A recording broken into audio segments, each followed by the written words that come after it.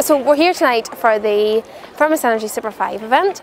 It's an athletics event which um, entails a lot of different athletic disciplines. We have lots of kids here tonight to take part in 100 metres, 200 metres, javelin, shot put, just a whole series of events. I think it's really important that Firmus have put their money where their mouth is and, and decided to sponsor this event.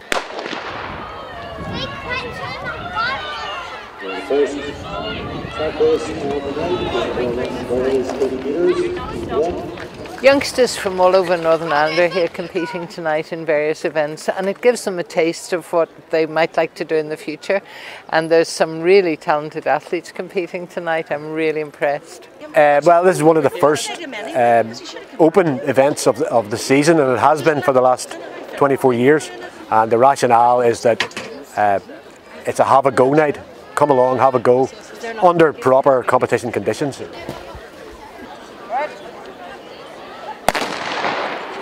Yeah, so we got on board this year. Um, it's a great opportunity, gets lots of children together as you can see and we thought look this is a really good event to support and we like to keep it really local and support something that kids get good enjoyment out of and they leave feeling good about themselves so something good to get involved in. I think it's important because then the youngsters, the very young people will be able to see people who have been training for a number of years and they're, they're role models and they, they want to emulate them.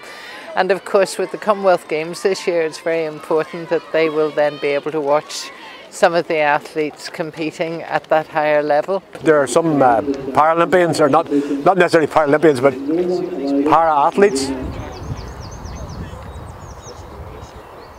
So, what did you get out of it as a kid? Just a great sense of achievement of taking part in an event.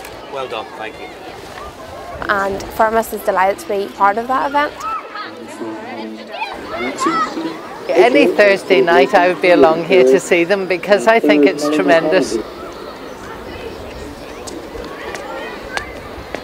You know, youngsters nowadays get so much bad publicity. This is very positive, enjoying sport, making friends and keeping fit.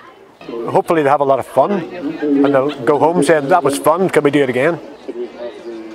Come on down. Basically that's it, come and try it.